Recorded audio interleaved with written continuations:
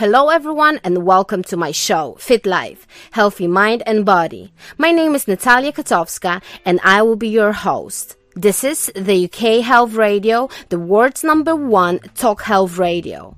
With over 13 years of international experience in sport and fitness, years of study, I would like to share my experience, knowledge, and most importantly, my endless love and passion for living a healthy lifestyle for my mental and physical well-being. On this show, we will be talking about fitness, sport, healthy living, nutrition, fitness fads, and more. We will be answering your questions. We will have guest speakers. And what's most important, we will exercise together.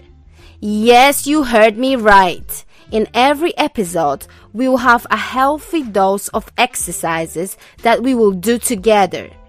So we won't just talk about fit life. We will actually experience the fit life together. Are you ready? Then let's go.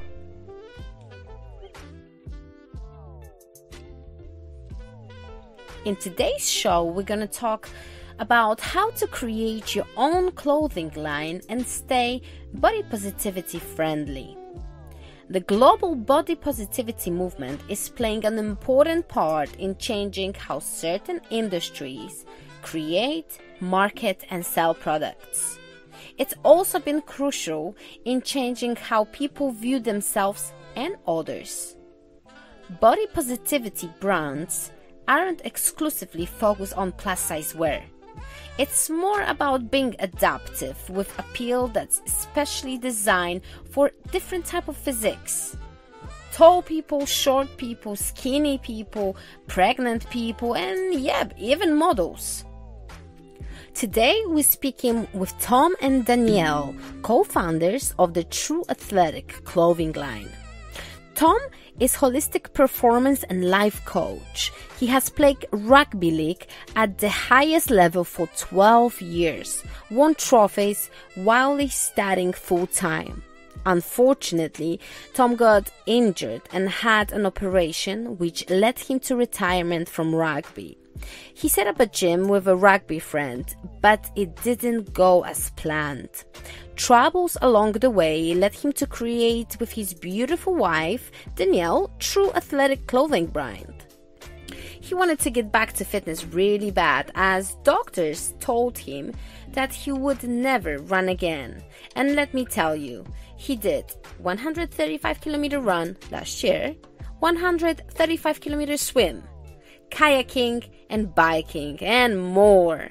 Now Tom and his wife offer services and products to help with recovery, holistic performance, and of course, clothing. Tom and Danielle, welcome to the show. Yay! Ah, you've got your set on. How are you? I'm good, you? I'm good. Finally here. We made it, guys. I'm glad to have you. So first of all, welcome to my show. Welcome to Fit Life. Welcome to UK Health Radio. I'm glad to have you guys.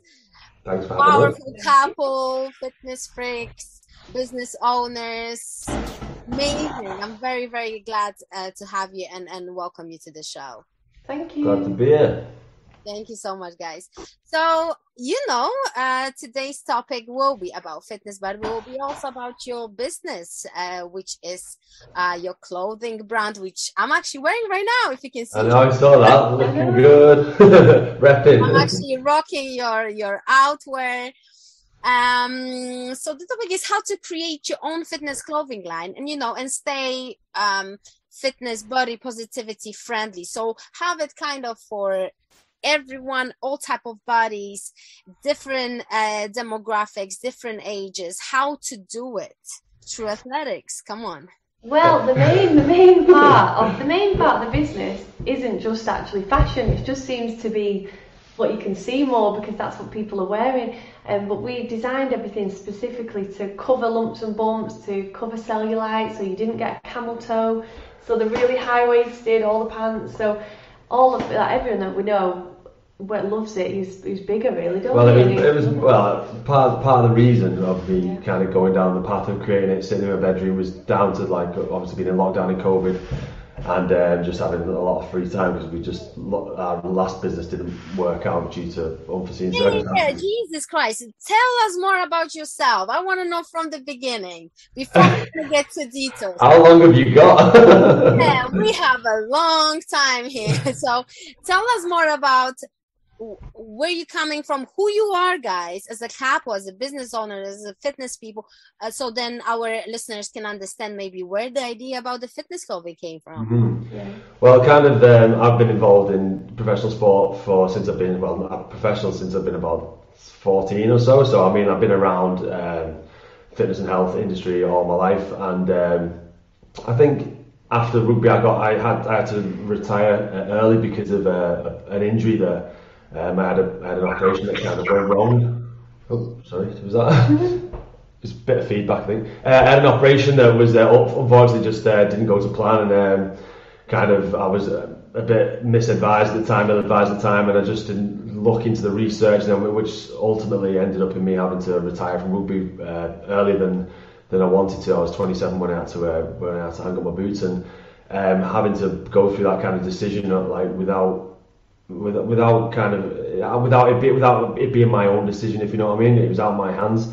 So um, the the the next kind of progression was to kind of be I was I was I was down. I didn't know what to really do. I just had my kind of career taken away from me. Although I was I was I was still doing engineering at the time in university, so I, had a few things going on. But I, my basically my kind of image of who I was and who I thought I was going to be was kind of a bit tattered uh, overnight, really. So uh, going from there, I kind of went went off on a bit of a tangent and did like um, you know got got tried to set up another gym and tried to involve involve friends that didn't transpire didn't work out very well. Um, all around this time uh, we, we had a, a newborn baby and then just COVID hit we had a few complications things were just going a bit wayward and then uh, had a few health scares both of us and then it was just a case of basically using all the knowledge and information that I gained over the years of research and going off and find get, reading hundreds and hundreds of books and watching every digest every podcast there is available to try and cure ourselves because basically you're kind of left with um, in a situation where especially during COVID you, felt like um, you were like on your own a sense a lot of the time. You have to you have to understand your own body. You have to know what's most people don't really know kind of what they eat and what's going into the body how it's processed how it, how it how it can affect you it, just food um, so like I think it's important to like um, understand these processes. It's not just it's not just a case of uh, you know you just train, you get fit. That that's that's only a part, a, a, a, tiny portion of the whole equation. Which is what we used to do. Yeah, which is obviously That's what. we used to do. And I was advised a lot in rugby by uh, some of the coaches, some of the nutritionists, some of the professionals. They they went for more of a, a reductionist kind of approach, which is like, here's the facts, here's the figures, do this, do that, you'll be fine. You're a, you're you're, an, you're, an, you're a person. You're not like uh, you just you're just a collective. You're not a person. You're not an individual. And like the way that we see now uh, fitness and health is, is more of a holistic approach, kind of the top down, bottom up. Everything is inclusive. So it's kind of like you're not yeah. In order to get fit, it's not just fit and healthy. It's fit, healthy, socially healthy. It's um, Mentally. mentally healthy. Uh, uh, spiritually healthy, and then working together as like uh, the, the animals and pack animals that we are as a group, and, and forming like a community to try to try and spread that to other people, and then hopefully rub off on them, and then they can spread that, and then use, using techniques like cryotherapy, red light therapy, all these nuanced kind of techniques that we've kind of started to get involved into. Um, yeah, I just I just think there's there's a lot more to it than just just a just a clothing brand, I suppose. Yeah, I think this came as well because we've always organised a lot of things, a lot of events, music events and parties and things for our friends in the past when we when we met each other. And as those sort of people, we wanted to, to change that and to start guiding all of our friends and all of our groups of people down like a healthy route. Because you know everyone loves a party, but you can't when you get in your thirties. You're like, right, we need to do something else. So we liked organising things, so it was just right. Let's change, try and change people's mindsets and be good. Yeah. Yeah, so it's like a movement, right? Yeah. Yeah. Exactly. Yeah. Big movement. So then your True Athletic came on the board. So how did that start it? Um, I think it was just like I was, I, I don't know, I was kind of like, I, I just, I'd unfortunately lost uh, the business, the other business that we had, and um, I was kind of just sat, sat around in my in the, in the house and just I needed something to do. I applied for a few engineering jobs, but because I'd been out of education for so long after um, professional sport, because I, I did university, then I went to professional sport, and then I came back out. When I tried to apply for any engineering jobs, like petroleum engineering, chemical engineering jobs, they just weren't. They just were basically like, "Oh, well, you, what have you done for the last two years here to try and um, yeah. to try and prove that you obviously were stuck in with engineering and you were still within the industry?" And obviously, I couldn't prove that I was in the industry, so it was when I yeah. So when I was doing interviews, it was just I was just getting told to obviously go back and do something else. So then I just kind of was stuck looking for things to do. I was applying for all of the jobs. And then we just, I just sat down with Danielle and said, like, look, obviously I'm just gonna, uh, this is my idea, this is the plan, what do you think? And then she was like, yeah, let's go for it just backed me. And then, um, yeah, kind of that was the next few weeks of just sitting behind my laptop trying to get everything designed and trying to get everything together and mm-hmm. just kind of doing everything on my own, really. And just uh, obviously with the support and help of Dan and uh, guidance of, of uh, fashion. then, yeah, it was, uh, yeah, just kind of in the bedroom, basically, where the magic happens. The designs or yours? Did you did you actually design everything from the top to the bottom? Um, it's it's a case of uh, obviously picking materials and picking the uh, the kind of styles that you want, um, and then working together with like fabric blends, blends and stuff like that. Um, actually, physically designing the the outfits in terms of like the the the un, minute details. Yeah, no, it's not. It's not. We're not. We're not putting them in a factory. We're, we're not putting them in a factory working ourselves. But yeah, we're designing. You know the, the fabrics, and we get the blends, and we, we know which is the best fabrics for performance and comfort at the same time. Mm-hmm. So, um, because there's a lot of obviously you, you do have your men's section, but I, I'm more interested in the female uh, section. Is that uh, your wife idea? Is that your maybe some mm-hmm. kind of mm, well, it's funny because a bit both really, but it's funny you do. He's better at the girls stuff. better at the boys true, true. Because I dress you. No, but I think it's more because uh, you used to say you were saying you always used to say like I can never find anything that's like that yeah. fits me comfortably, and also I can train in and not worry about like I want it to look good, yeah. but obviously I want it to feel good. I want it to like be yeah. Stretching in the right places, all these kind of things that you wanted. So I was like, all right, okay. Um, sick, of, sick and tired of buying random gym wear and you're not wearing it. So I just thought, why don't we do this on our own and just like you know just go down that path, do a bit of research, find what we can, test different fabrics, and then mm-hmm. end up with a, a ladies range. but yeah, the men's range is like obviously a side that uh, we're kind of pushing that at the minute, but um, I want to want to get our foothold in the ladies, but the men's is coming very soon. Mm-hmm. You know, when you were thinking of all those different aspects, like you just mentioned, uh, cellulite camel toe, uh, what was the inspiration? Was it your own personal uh, experience, or was something that you heard from people working out? Yeah, it was just mixed. It was my experience, and then quite a lot of friends as well. Um, just all sharing the same opinions really on everything that we bought was either overpriced or just didn't sit right on us or didn't last. That was the main thing. Like they don't keep their elasticity. So yeah, just a mixture of um, things from friends and. So you, when you when you when you um spreaded your your fitness clothing when you sold few bits and pieces or you you've been a sponsor for Miss Swimsuit UK what was the feedback like uh, from people who are wearing your outwear I mean I'm not gonna mention myself because I don't want to be a biased. yeah, don't be biased. No, but, but well, most of our customers are well, a lot of our customers are return customers. I say like it's like yeah, it's got a good seventy five percent rate of return customers. So like you know, the, the order, then they like it, the order again. You know, mm. that's that's really like. Uh, it's, it's a buzz when you get obviously a, good, a great comment. Someone messages you or something, and they go, "Oh, oh this is a great, great piece. Have you got any other colours and stuff like that?" And it's like you feel like, oh, it is actually, it's, it's a decent product, it is working, but obviously some, you know, you just, sometimes that you need that validation, don't you? You just need that, but it definitely, definitely does get uh, some good, great feedback. Yeah. Mm-hmm, mm-hmm. So, you know, you've been a sponsor for uh, Miss Swimsuit UK. Uh, that represents all type of bodies um, and spreads body positivity around.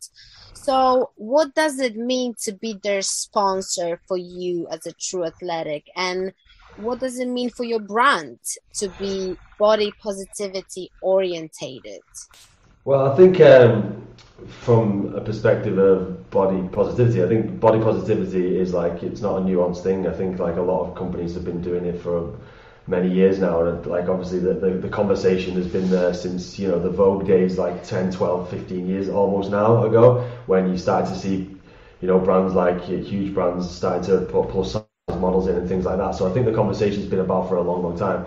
Um, but I think what where we see our stance in terms of body positivity is more to do with body positivity um, but there's like a, a body positivity to a point like I want you want people to get from a point of happiness and healthiness. So there becomes a point where obviously body positivity is like um, you, you want you want body positivity, but you don't want people to be unhealthy. That's what I'm trying to say. You don't want no. you don't want it to be like okay, yeah, that's that's healthy, being like you know not getting off the couch, not doing anything, not not living your life. That's unhealthy. What what body positivity is to us is obviously being active, being socially active, being mentally active, spiritually active, and loving yourself. And that's the most important thing. Once you get to that stage, then it doesn't matter what shape you are, you, are going to spread that, you're going to, you're going to exude happiness and you're going to spread that to other people. So that's the kind of message that we want to go, um, want to pass on. And, and sponsoring uh, Miss Swimsuit obviously was tied in with their kind of, their, their, their this year's ethos.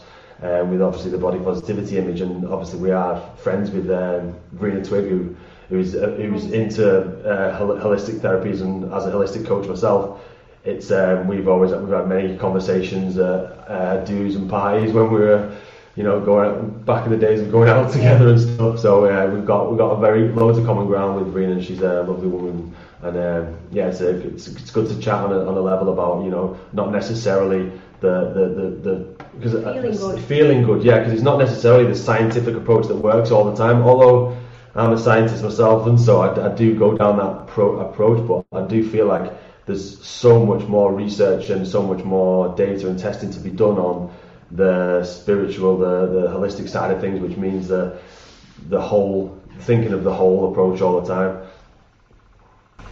So, do you see aesthetics in the fitness fitness industry as something that could be under the holistic umbrella?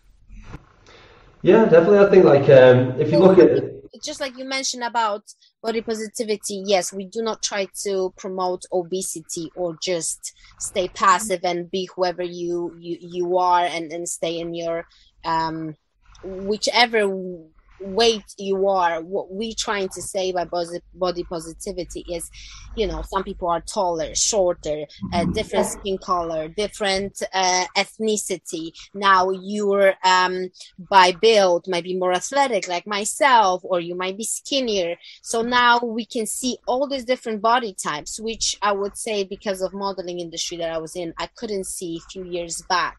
So we do the fashion industry right now tend to show more of a different skin tone, different heights, different build. Back in the days, they would tell me I'm too fat, I'm too big.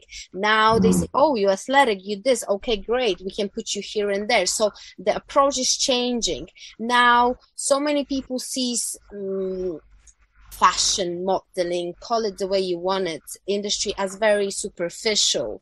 But i do see certain elements that i would personally uh, see it under the umbrella of holistic. What is your uh, view about it?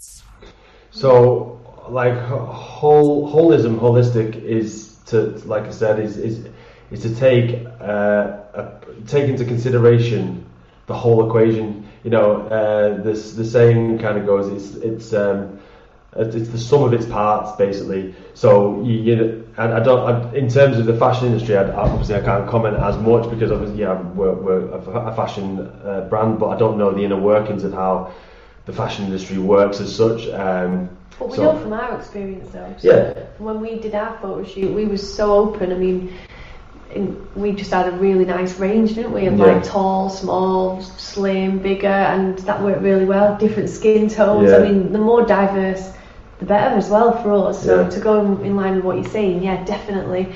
Um, I think it does sell now as well to just to really be sort of diverse. So I do agree. Yeah, mm. that does work. Yeah, and if you look at um, you know you look at the, the, the, some of the largest brands as well, like um, you know the likes of like Gymshark and something like that, they have they they they, they have a very similar kind of um, ethos where they have obviously all a, a, a, huge range of different shapes, sizes, ethnicities, etc. But yeah, yeah, we um, we're all for we're all we're all for it because obviously the whole world is a, is a diverse place. You can't if you take a random sample of a, a cluster of people from the earth. I mean, you you, you could you, you're bound to get a mixture of people. You know, so that's um, kind of what we're trying to portray with with, with the brand too. So, what would you, as a holistic coach in the fitness, what do you see are the biggest challenges within today's society? Maybe after COVID, you've recognized something new, some new patterns. Um, I think a tendency to kind of stick within your comfort zone and get really comfortable with your your, your routine that you're in. Um, like because obviously we all felt I think we all felt victim to sitting in sitting in our houses watching Netflix and Netflix documentaries or Netflix series back to back and you know drinking and eating far too much because yeah, I think everyone did the same. It's getting out with that, isn't it? Yeah, and it's trying to trying to get people out of that routine and also educating them in terms of the nutrition because a lot of people don't really understand. That's, that's the, basically what the way I see it is. That's your foundation. You've got to get that right first before you can then start to build on top of that you've got to know what's going in your body, what's affecting you, and also having like um, a, an, an, inner awareness of when things are, are you're consuming some food, um, you're in a, a, like you know an environment of stress or whatever. You know you can you, you understand what triggers are, are, happening, so you can tell what kind of you know you, you might be slightly gluten intolerant or you might be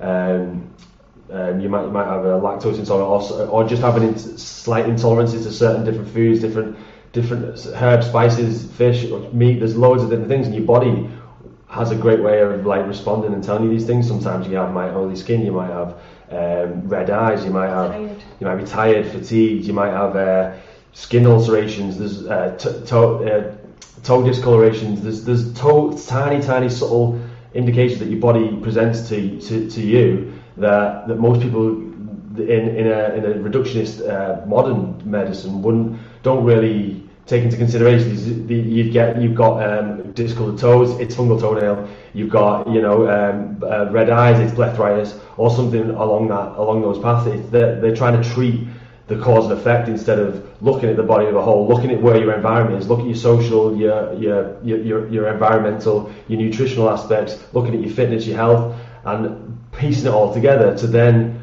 build on that, and then become then then you can really see um, but then you can really work on someone as a person as well as a whole, and it's not just it's not just saying okay, you want to lose weight in 12 weeks. That's that's that's that's all good and well. It's if you want to just go and you know walk away with uh, a, a couple of good photos afterwards, but it's it's not it's not it's not manageable afterwards. You're not changing your routine. You're not changing your lifestyle. And what I, what I, what I teach is your holistic performance and lifestyle coaching. It's not just it's, it's, it's getting you to a point, but make, letting you stay there. And obviously, I'll be there to help you along the way. But then once you're there, you need to know and you need to learn the, of what I've taught you to stay on that path. Mm-hmm. Mm-hmm. I think as well, I'm the hardest person to train. Oh yeah. I'm really. I can well, after we had, um, when I had a baby, I was diagnosed with cervical cancer. So, I mean, I'm fine now, and it's out, it's cut out, it's gone. But then, instead of sort of like people do, cut things out, get rid of things, it's about you know why that came in the first place and what I need to do differently now in the future. So everything that I put in my body, inflammatory response, sort of thinking about how I feel. Because I would be the first person to have Chippy, McDonald's, um, but I don't do that now. So yeah, so you can coach me, you can coach anyone, but yeah. it's it's yeah, it's about it's about lifestyle, and that's what the brand's about, and that's why where we got to where we are now as well. That was part of it. Plus Tom's hip, plus he was in chronic pain. I had this in, inside, you know, problem. So it's about you know just being as, as clean as possible. Yeah, yeah, inside and out, and then it's also like using like we we we, we do um, our treatments like cryotherapy and red light therapy, and those things I use and we sell on the website because they've helped me. Like that, I like I've had like chronic hip pain and uh, knee pain and, and after rugby, yeah. and I thought I was like going to be just stuck taking painkillers and you know anti-inflammatories for the rest of my life, and then the specialist oh, said that. Me, that's me. Give me some advices. Give me some advices. There you go. Like there's, it's it's honestly, yeah, I, I'd have to I'd have to see your whole workings of your daily routines and weekly routine, your nutrition, everything, because I can't just say, oh, there's some advice, because you're different to the next person, to the next person. It's really hard. That's why it's like you have to really like go in with these kind of things, and that's why I don't really I don't really coach that many people. I have like five or six max because it'd just be it'd just be impossible, especially trying to run the business and stuff. It'd be absolutely impossible. But yeah, that's I was at that point like painkillers. I was just like, am I ever going to get over this like kind of thing? And then um, Not using sleeping. not sleeping, get up in the night, loads of things. And I'm sure you know, obviously, like you know in your head there, you know obviously how it feels, and it's just it's just so frustrating not knowing what it is, can't put your finger on it. So I just thought I've got to find out what it is, and then I ca- started doing loads of research. Got red light therapy, got cryotherapy, started doing breathwork courses, started doing nutrition courses, the the whole works, and then kind of got myself out of my rut, and now I teach people to to get themselves out as well. Yeah, and I was. How Um, did the pain go I- away? Did the pain Sorry? go away? Did your pain go away? Your knees, your hands? Yeah, yeah. I mean, like it's it's. I, I can't say it's completely reduced because that it's completely gone because that'd be a lie.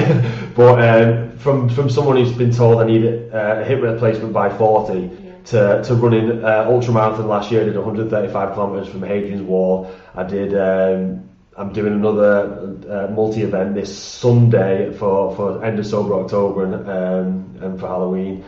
Um, and in, that's another charity event I'm going to do for uh, motor neurone disease. But the doctor said you won't be able to do anything. Sit on your couch and you're not going to do anything until you until you have to have a hip operation. So going from that diagnosis or prognosis to then saying, all right, I'll run Hadrian's Wall kind of thing. That was my kind of yeah middle finger to them in a way. Yeah. And I was always in at the doctors for anxiety, not so much depression, more just anxiety. I'd always suffered with anxiety, but it started coming up and down again. I don't know if it was something I was eating, but I'm, I'm I do the red light therapy, sleep behind. I do that now every morning. Um, try to meditate. I'm not the best at it, but I do the red light therapy. I eat well.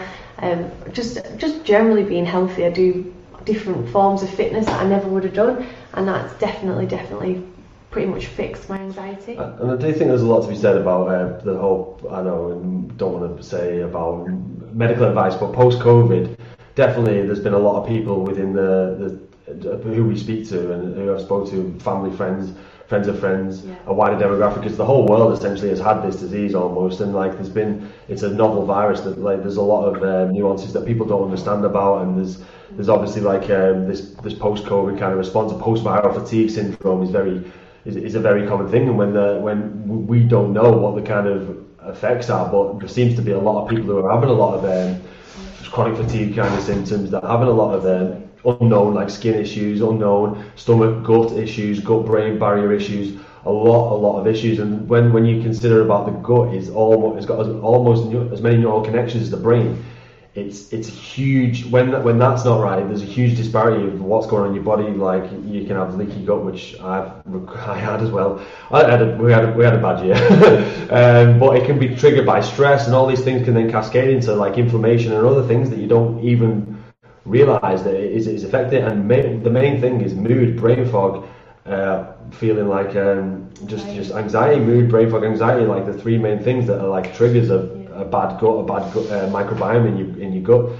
So these things that people don't really well, you go to the doctors, they're never going to say.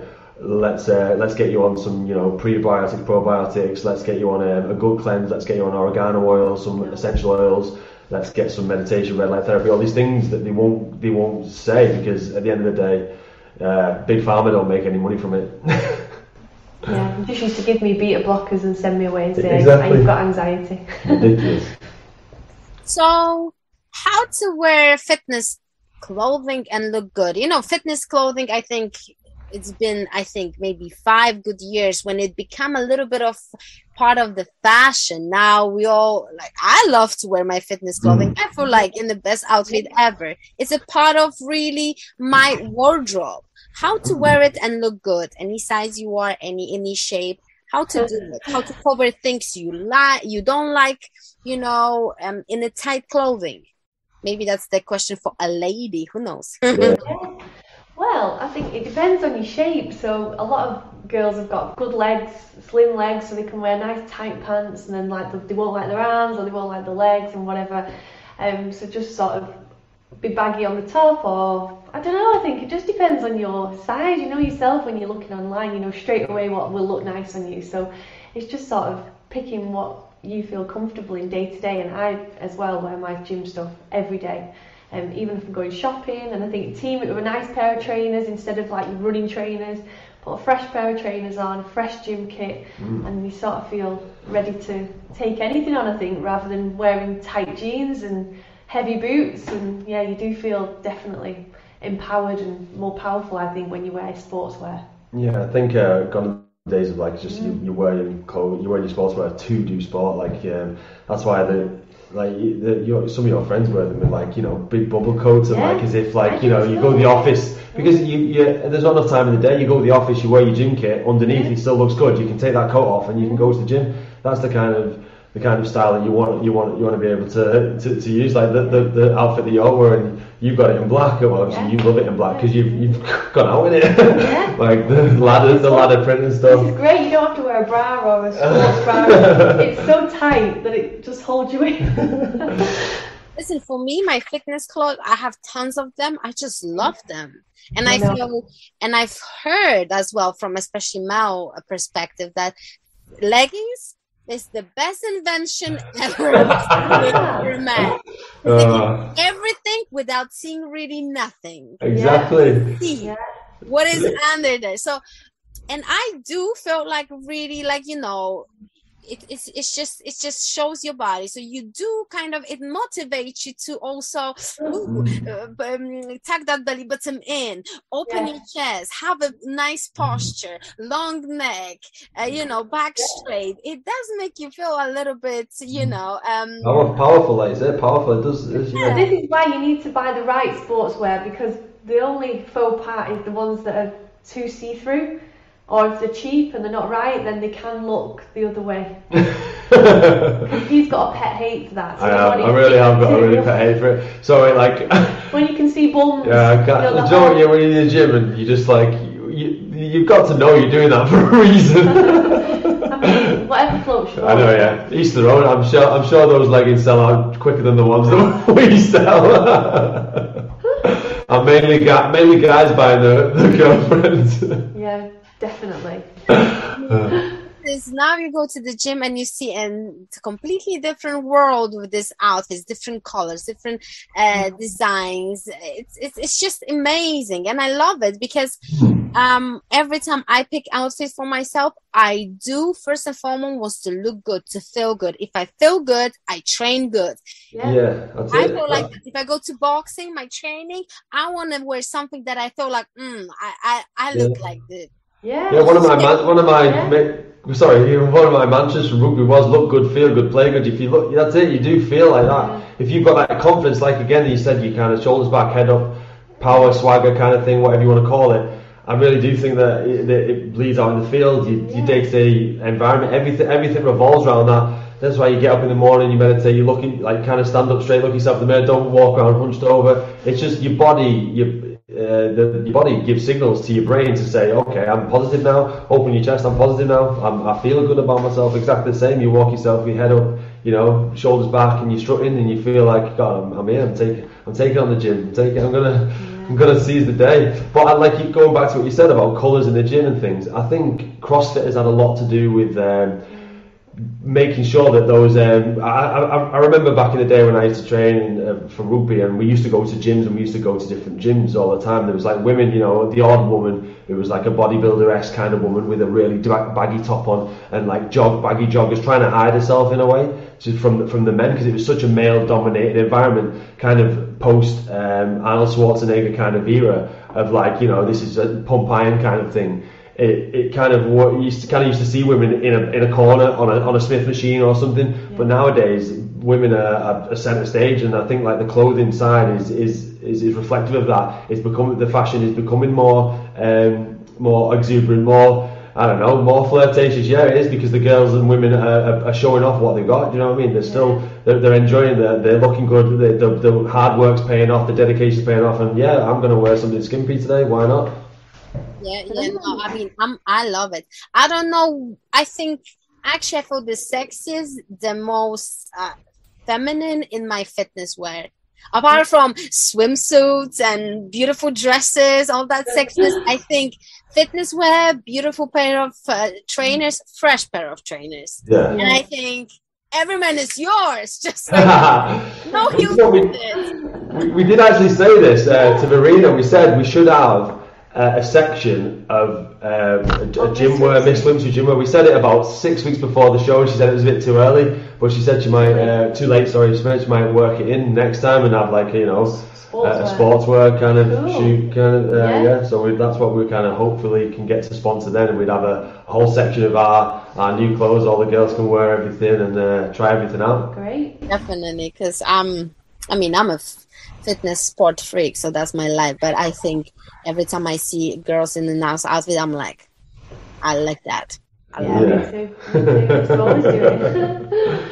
Tell us, um, does it help to be actually a professional athlete in order to create like a fitness brand, pro athlete? Does it help or? Um, I mean, I mean, I suppose, I, I, I suppose it of in a way, and it can hinder you in other ways because you kind of pigeonholed.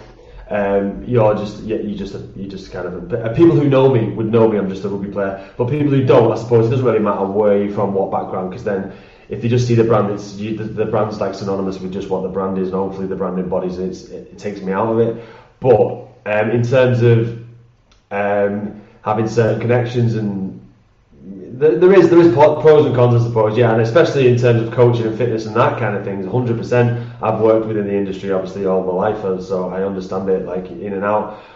Um, but I, I, think I had to unlearn a lot of stuff as well that I was kind of trained from rugby because, like I said before, a lot of the nutritionists and the science is like kind of outdated and uh, it was, Eat raw eggs. yeah, like, Eat raw chickens. I know. yeah, there's like literally there was one, one of my coaches at, uh, at the time said we you need to put on 10 kilos um, just go out buy three mackies a day um, just eat a chicken with bread like uh, the, the, how how damaging that is for your stomach, and then just having loads and loads of uh, whey protein, really poor quality whey, pro, whey protein, Bulking. just bulking up, chuck that on on, a- on a stomach. The the, the the the toxic mess that that's causing within your gut. Now I know what's going on. I'm like, oh my god, for years I punished wonder you've got myself. No wonder, no wonder I had leaky gut because of all the years of just shoving down these sugar-filled protein bars. It's like uh, daily, three, four, five times a day. It's just not good for you. And I, I think like there's quite a lot of people as well who are um, a lot of um, influencers and like a lot of um, Instagram people and like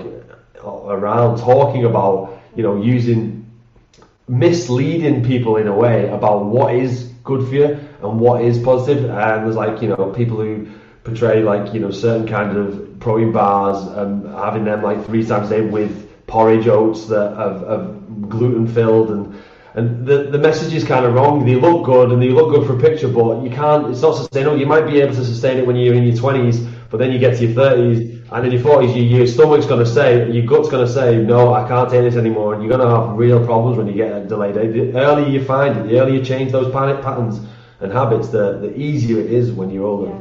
Yeah. Mhm. I absolutely agree. Absolutely agree. So lead us through how to create your fitness brand step by step, if you can. Obviously, don't sell your magical. Recipe. but for example, someone who is listening to us and they really wanted to do it, but they don't know how. And you know, you can read blogs, but it's never like to hear it from an actual uh, brand owners. Yeah.